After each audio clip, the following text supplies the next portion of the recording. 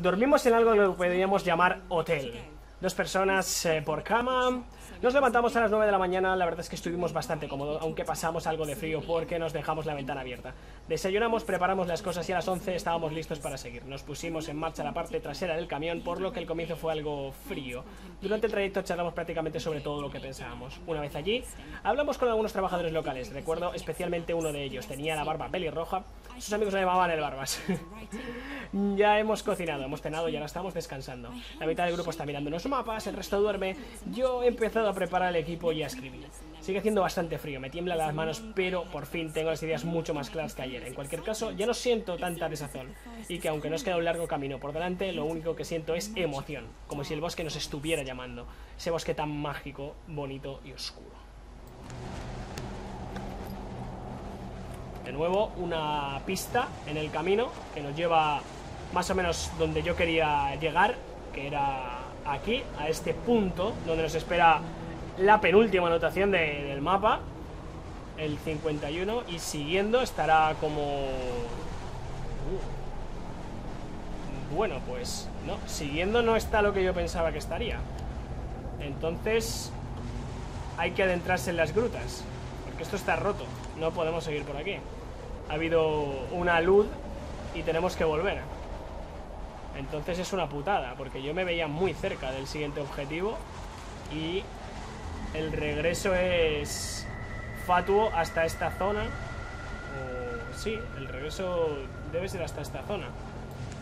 Así que vamos a volver. Vale, vale, vale, vale, vale.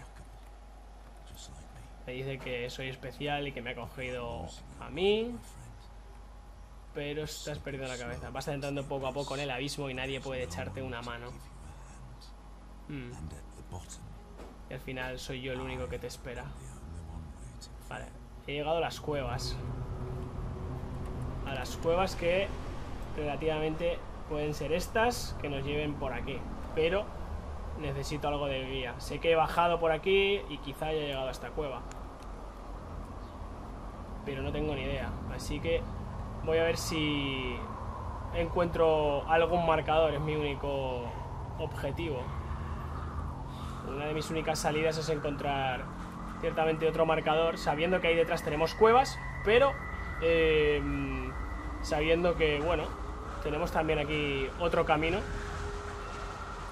en el cual despierta el tiempo atronador, vale. No hay salida. Cueva por ahí abajo. Y seguimos por aquí arriba.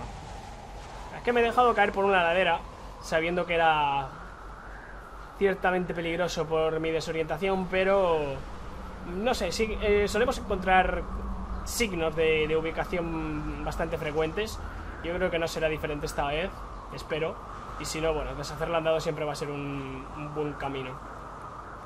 Pero vemos que ya tenemos algo referencial, estos dos palitos, y nos vamos para adelante, tranquilos, porque ahí tenemos otro caminito cortado, vemos bruma por ahí, estoy escuchando árboles, estoy escuchando muchas cosas que me inquietan realmente, la, antena queda detrás y nosotros podemos seguir, sin duda, veamos, más bruma, eh, tenemos ahí una marca. Va a estar muy bien para ubicarnos por si llegaremos a nuestro camino ideal. Cuidado, hay un psicópata suelto. Un psicópata criminal ha entrado en el psiquiátrico de Moscú. Los informes dice que ese hombre sufre demencia y delira. ¡Ah, qué bien! Eso es lo que faltaba para acojonarme. Sin duda hemos llegado aquí. Estamos más o menos cerca de nuestro objetivo, pero hay que llegar hasta aquí, hasta esta zona estamos cerca, podía estar ahí lo que buscamos, o quizá el otro lado de esa montaña, pero nosotros tenemos que seguir este camino, que es el que nos va a llegar al final del camino a, ese, a esa nueva demarcación en el, en el mapa. Así que más o menos ya sabemos dónde estamos. Ahí tenemos una especie de, de pueblo, iglesia, quizás sea el manicomio. Aquí tenemos eh, nuestro... parece ser que huyen hacia ahí. Yo también quiero ir hacia ahí. Yo también quiero ir hacia ese sitio. Vamos a ver si podemos llegar. Sé que es un poco ir a lo loco y, demás, pero... Eh, muchachos, yo creo que el juego se merece que perdamos un poco el control y nos dejemos llevar por la, por la situación.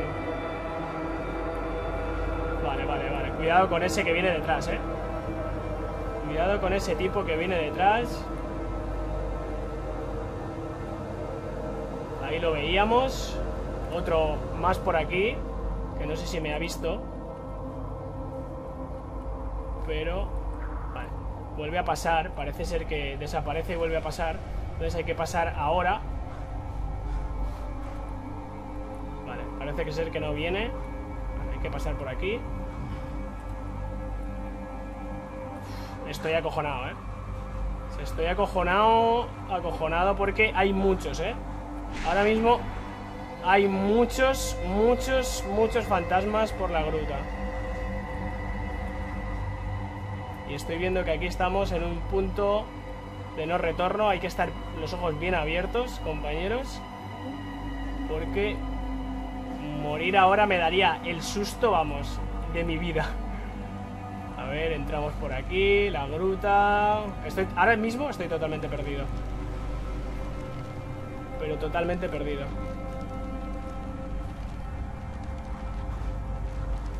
Y esos ruidos no me ayudan en nada, ¿eh? Y, parece que estoy viendo pasos y muerte en, cualquier lugar. Vale, otra vez el... Otra vez el de esto. Vale, parece que hay subida. Sí, parece que hay subida. Y, vale, genial. Tenemos aquí otra nota. Uf, estoy súper perdido, ¿eh? Estoy súper perdido, pero vamos a verlo. Uf. Pasajes del diario escritos por el doctor Ivan Wansky. ¿Sabes lo que queríamos hacer? Jugábamos a ser dioses, telequinesia, telepatía, grupos de hipnosis, causábamos desórdenes físicos y mentales, creábamos un, o sea, un espacio desintegrado. Los objetos no pudieron eh, ni con una muestra de, eh, de la radiación, de los que de alguna forma consiguieron sobrevivir, se comportaban como si estuvieran poseídos. Se comunicaban con nosotros con diferentes voces, idiomas que ni siquiera podíamos eh, reconocer. Y entonces todos murieron, uno tras otro. Algunos se convirtieron en piedra, otros en ceniza. Yo recuerdo a uno que levitaba. Todas sus extremidades se retorcían y se quedó congelado. Uno se quedó congelado así, en el aire. Ya hace tiempo que pasó, pero todo esto sigue persiguiéndome lo recuerdo. Vuelvo a ver cómo fue todo delante de mí. Cada noche hubo algún superviviente. Más tarde me dijeron que nadie logró sobrevivir, aunque yo creo que uno de los objetos pudo haberlo hecho. ¿Tienes idea de lo que hemos hecho, mi querido Anton? Vamos a ver, vamos a ver. Miremos dónde estamos. Y estamos... Eh, estamos aquí. Ok, vamos en buen camino para llegar a este sitio y el otro es el 66 que sin duda está aquí entonces vamos parece ser que por buen camino para, para encontrar las cositas vale, me, me relaja un poquito con la nota todo hay que decirlo y por aquí teníamos que que bueno, puedo bajar por aquí, sí seguramente está hecho para que bajes y sigas el camino Así que veamos. Hay que seguir avanzando y seguramente lleguemos a esa especie de, de edificio que hemos visto. Vale, aquí tenemos el puente. Justamente va a ser este puente. Así que va a ser genial. ¿Tienes que ir más rápido? No queda mucho tiempo. ¿En serio? Estoy yendo rápido. Estoy yendo todo rápido que puedo, amigo. Estoy yendo todo rápido que puedo. No me metáis presión, por favor, tío. O sea, no me metan presión porque... Eso es pasarlo mal gratuitamente. He tirado por aquí porque realmente es el sitio por el que me estaban cerrando los enemigos. Sea, en la bruma naranja. Y, más o menos es por el sitio más... Eh, más normal que podíamos tirar. Así que veamos. Madre mía. Estoy en tensión, ¿eh? Vale. Tranquilamente, veamos. Aquí no tenemos nada. Seguramente sea por ahí delante. Así que... Ese arco delata... Estoy tenso, ¿eh? Estoy tenso, tenso... Bastante tenso, vale. Ahí teníamos eso. Ese... Ese típico... Puente. Estoy escuchando el campanario. Lo estoy escuchando lejos. Pero debe estar por aquí, sin duda. Vale, tampoco quiero quemarme. Vale, tenemos camino. Sí. Sin duda, por aquí tenemos camino de piedra. cualquier cosa ya es que me parece una locura, ¿eh? Pero una locura. Vale, pasemos por aquí. Solo debería haber un camino. Estaría muy feo que ahora te, te dieran opciones de perderte. Ya hemos estado muy desorientados en el pasado. Pero creo que ahora estamos ya siguiendo pistas bastante buenas. Así que cada vez se oye más la campana. Vale, por aquí no debe ser. Así que sigamos por la colina. Y ahí estamos viendo la iglesia. ¡Oh, tío! Me cago en la leche. Me cago en la leche, tío. Me cago en la leche. Me cago en la leche. Cómo me ha atacado ese perro. Me ha atacado gratamente. Oh. Demasiada tensión, tío. Yo estoy aquí soportando demasiada tensión. Vale, muchachos, pues ya estoy aquí de vuelta, más o menos. Eh, y digo más o menos porque algunos ataques sí que son aleatorios o no nos estábamos fijando muy bien en lo que venía siendo ese monstruo pero, pero bueno, vamos a tener que fijarnos duro. Uh, uh. Por favor, rápido. Tengo que entrar. No, no, no. Hay un monstruo ahí, ha desaparecido. Ha desaparecido, ha desaparecido. Vale, tenemos, tenemos una nota, tenemos una nota. ¡Wow! I'm spending my time in the institute on long mi querida Viera, Pase, tiempo, paso mi tiempo en el instituto dando largos paseos en el parque y solo puedo encontrar consuelo. Solo las sombras de los árboles. Mi mente se tranquiliza cuando veo cómo el sol sacude las verdes hojas y el viento toca suavemente mi cara con cálido susurro. Los médicos dicen que ya ha pasado lo peor, la crisis fue temporal. Para mí es difícil lo que desencadenó este estado. Sé que nunca podrás perdonarme por lo que hice. La tragedia en la que participé nunca podrá tener ninguna justificación ni explicación.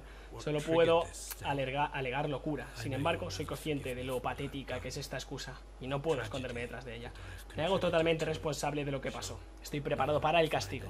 Los médicos, por otro lado, dicen que probablemente no abandone el instituto. Debes saber que prefería pudrirme 100 veces en la cárcel por lo que te hice. Tengo que confesarte que te engañé que sabía que nunca querrías escuchar lo que tenía que decirte. Por ese motivo he enviado esta carta con un amigo a tu hermana, que si bien costó convencerla, aceptó leértela. Se lo agradezco de todo corazón y al fin, y ya llego al fin de, la carta. No quiero aburrirte más tiempo y, y te quiero. Y espero que ojalá algún día pueda decirte todo esto en persona. Por suerte, amiga mía, Anton está conmigo en todo momento. Él fue quien acudió a tu hermana. Espero que los dos os encontréis bien y gocéis de buena salud. Os deseo lo mejor. Siempre tuyo, Vitalik. Tienes que haberlo leído con esa cara, con esa vocecilla. Vale, estamos cerca de averiguar más o menos mm, lo que pasó aquí o de haceros una idea de todo aquello que supuso Colat para el mundo. Ciertamente estamos en este punto. Y ahora donde tenemos que llegar es a esta zona que espero que sea la final, porque por aquí nos aguarda algo, pero parece que no hay nada. Y todo lo demás está bastante visto. Así que... Veamos, mira, todo ha cambiado. Ahora la vida es maravillosa. y parece ser que los espíritus se han retirado. Y por lo pronto, vamos a hacer un pequeño corte. Continuaremos en el siguiente episodio. Quizá el episodio final. No lo sé, compañeros, pero creo que estamos cerca de lograrlo. Nos queda una marca en el mapa y si es que soy capaz de enseñarosla. 66-72 al oeste. 66 70... No, 66 72. ¿En serio? ¿No está por aquí? No, totalmente no. A ver, entonces 66 y 66, perdón. Está 66 está aquí. 72 No, ¿verdad? Mmm, me intriga, pensaba que estaba aquí. Lo que me faltaba Y resulta que no, que ahora Parece ser que está en este punto. Pues entonces va a ser lo más fácil Encontrar un campamento Que quizá haya uno por aquí. Voy a investigar y, movernos. Así que muchachos, yo creo que lo vamos a dejar por aquí. Seguiremos en, en el último quizá de Colat. No lo sé. Me dará lástima terminarlo, pero muchachos, nos vemos en el siguiente capítulo. Chao, chao